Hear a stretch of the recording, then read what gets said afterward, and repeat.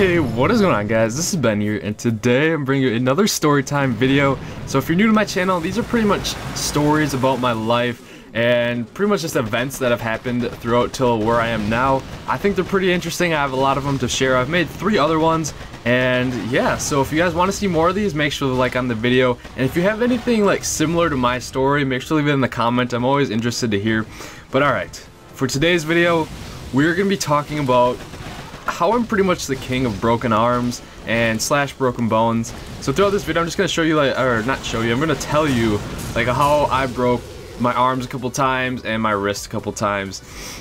But before I even get started to that, I need to give you some background knowledge at how I put myself or how these even happened to me. Alright, so when I was like a young pup, uh, I was always the kid that got hurt. Like, at, at social events with my family, at on the playground, always something was always happening to me that injured my body. Uh, for example, you guys saw the story about the stick in my eye if you watched that story time. That's just one example. Even before that, when I was younger, like I, I would be, I'll be falling down staircases.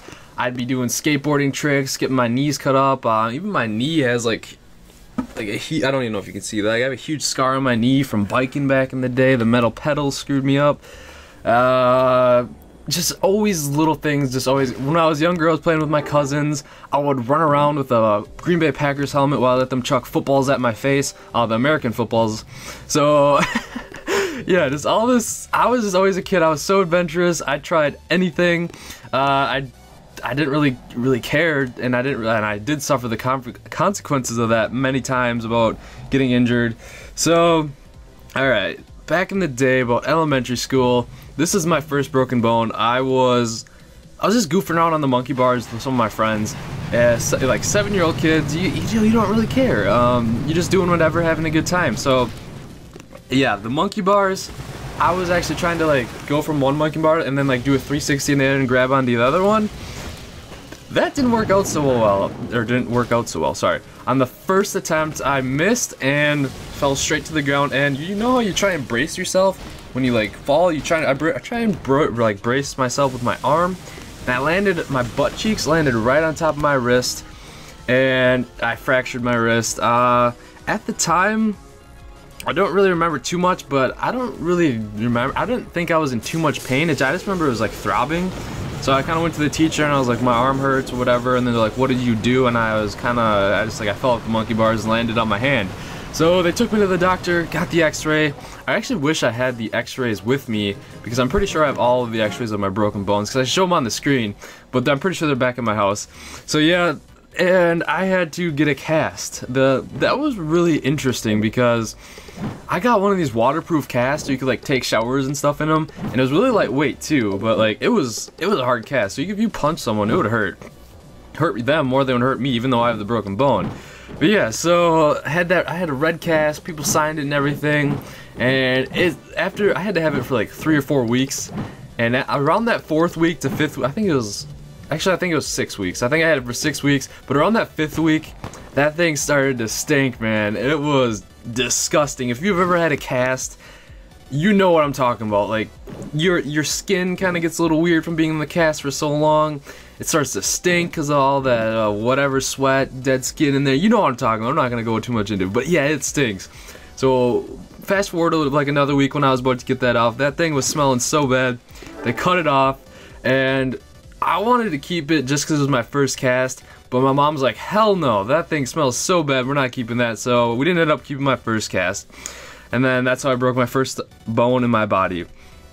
The next one, fast forward about probably a year, and I was actually in Michigan visiting my mom's sister, and they have like this isn't really a zip line, like a big, big where you where you strap down and go down tree lines with the zip line. This is kind of one of your backyard zip lines where it was like hooked up from a playground to a tree. So it's about like I don't know, maybe 20 feet across and only like maybe 10 feet in the air, but you like held onto it like this and then you went down. So, yeah, silly me, I was climbed up on top of the playground, had the zip line ready, and this is about 10 times, so I was probably a little fatigued from doing this. And then you would swing down, and as soon as I my feet left the platform, I, I for some reason I let go and I started falling headfirst down. and I kind of landed like like this on the ground. Like picture the space in front of me right here is the ground. I landed like this with my arm, and oh my god. So landing like this with my chest on top of it, that was, uh, it was interesting at first. I didn't think anything was wrong. Of course, I got the wind knocked out of me, so I kind of got up. And I kind of was like looking around, and my stepdad was watching me. He was actually filming this at the time because he, he just wanted to film me go down the zip line. And I get up, and I'm not gonna show I'm not gonna show you this video. I would if I could, maybe later, but it is terrifying. Like I got up, just looking around, kind of brushed myself off, looking that everything was fine, and then you kind of if you saw my face on this reaction, I'll, I'll try and do the best in person. I was looking around, then I looked down at my arm, and my face just like dropped. I was like, and then I started screaming, and, screaming and crying. My arm was literally like this. It was like, like it was right here. It was straight up, like this. So it was out of place, completely broken, and it literally was like I had deformed arm. Oh, that thing killed. The story of this arm, broken arm is ridiculous. So I, I and screaming. I run to my stepdad, show him my arm, I'm like holding it like this, and immediately we grab my mom's sister, get in the car, and Michigan traffic was so bad at the time. I, I thought it felt like for a year I was sitting at traffic because this red light literally would not change the green. I was getting so mad, and I was in so much. That was probably the most pain I've ever been in my life because I was about, I felt like I was about to pass out, honestly. I just kept looking at my arm, like, what is going on?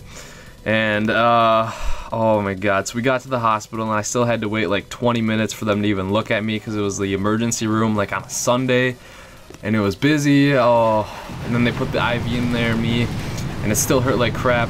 And then they put me on these drugs that were supposed to knock me out and put me to sleep so they could, like, literally pop my arm back into place. Ah. Uh, so they finally put those drugs in me. I kind of like was out of it for a while, but came. I kind of woke up when they came to get me to work on my arm and put it back into place. And they said I wouldn't remember like any of this before this, um, but I remember pretty much the whole thing vividly. So the doctor holds up my arm and he he presses on it with his all of his might with his two hands, and all you hear is this crack and it pops back into place and ah oh my god. The I was like ah I screamed so loud and then right after that I was out. I passed out from the pain but he put my arm back into place and did a good job like they said I would not remember any of that and that was oh I, I do not want to ever, ever want to break my bone like that again. That hurt so bad? Yeah, a lot, uh, other than that, it was on the same arm I broke uh, my wrist with the well, with the, uh, the, what's it called? Crap, I can't remember. I'm too into the story. The handle, swing sets, handlebars, whatever you call them. I can't remember, but yeah. So, it was cracked, and it almost went through my growth plate. Well, it did, and so they're lucky to say, like, my arm kept growing like it did, but my wrist, like, both of them are kind of, like, really thick now because I broke, I broke, I broke both of them multiple times. But yeah, so I broke my arm in two spots.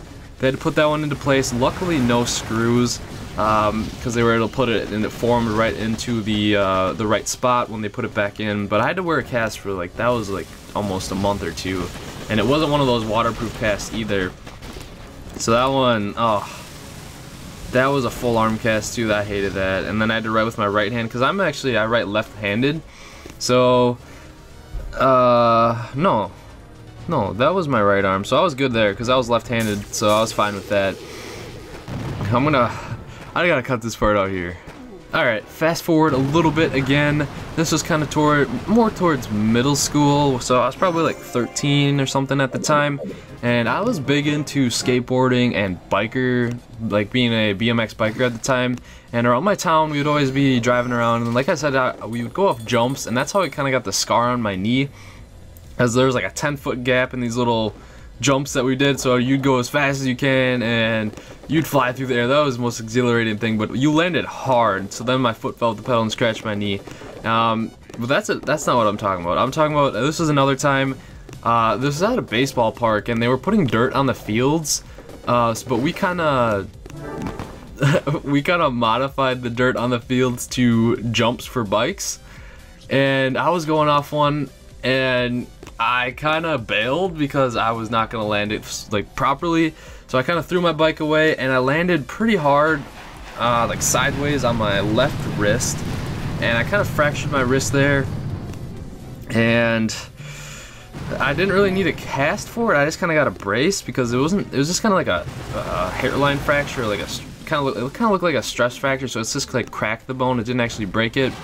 So that was on my left wrist. I had to wear a stress, uh, not a stress fracture. It was a stress fracture, but I had to wear a uh, a band, not a band. I don't even know what it's called anymore. Uh, too much thoughts running through my mind from those, remembering those bad days of all the broken injuries. but yeah, I had to wear a brace for a couple weeks until it started to feel better. I just had to be careful with it.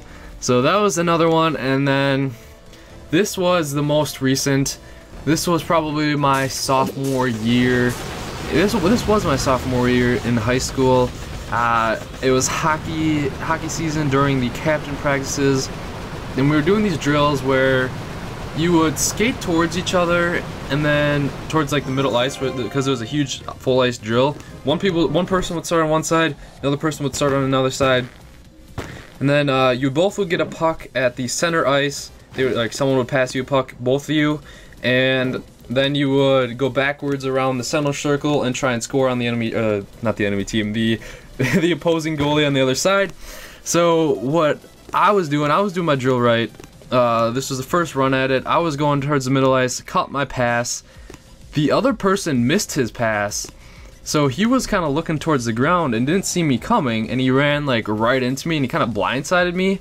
So uh, we were both going like full speed too, so it was just a head-on-head -head collision. I got blindsided, tried to break my fall with my wrist again, which I do all the time, and it just like it like bounced weird and it I don't know like it, all the all the velocity or pressure of my weight on my body went on my arm and cracked my wrist. At the time though in hockey I didn't I didn't think my wrist was like hurt broken or hurt at all because we it was like a head-on-head -head collision and my head and ear were just throbbing because it hit my helmet so hard and it left a dent in it. So I thought I had like a concussion or something. So I sat on the bench for probably two minutes uh, just to like regain my sense of consciousness. And then I, I, went back out on the ice, was doing the drill again, and that's I did I still didn't know my arm was broken at that time. So I went to catch a pass, and when you if you play hockey, you know how like sometimes it leaves a vibration on your stick if you catch the puck. That vibration rung through my arm, and oh my god, that was another one of the worst pains of my life. The vibration of the stick just rattled my arm, and it hurt so bad. And that's when I knew my my wrist was broken. Ah, it was horrible. Um, right after that, I just dropped my stick. Uh, I immediately skated off the ice, called my father. I was like, yo, you need to come get me. I'm pretty sure 99% positive I broke my arm. So we went to the doctor, of course. It was broken. Had to have another cast. Could not play hockey for a little bit, but I still skated around with the team. And other than that, that's about it for my broken arms. So two on the left hand, Two on the right hand. Of course, my right hand's probably got a little bit worse with that zipline one. But yeah, oh, a lot of bad memories there and a lot of broken, broken bones. So this was a little bit longer of a story time video just about the broken bones. There's a lot more injuries I have sustained throughout my life, but those are just the broken bones. Um, like I said though, I was a pretty, not re like rebellious kid, but I was just adventurous, always anything, didn't really care too much for my body when I was younger. So I got a lot of injuries from that. Uh, if you guys are anything similar, let me know some similar stories in the comments. And if you, like as always, if you guys want to see more of these videos, make sure you like if you enjoyed the video. Um, so I hope I don't get any more broken bones in my lifetime though, because they suck. So I, I, wish you guys the best too, and hopefully you don't get any broken bones either. But yeah, I hope you guys have a wonderful day or night, and I hope you guys enjoyed the video, and I'll see you guys later.